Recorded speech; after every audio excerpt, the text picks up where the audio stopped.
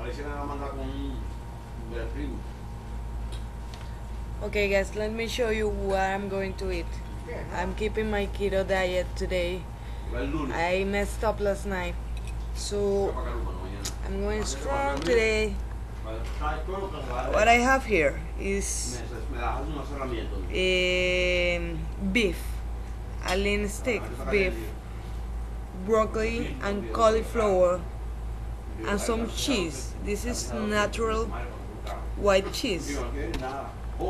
That's all what I'm going to eat today. Yeah. I didn't had my, my, my breakfast because I had to go out with my mom. But I'm trying, I'm trying. I have to work out today. I have legs to do, so I have to it well. So keep it tuned.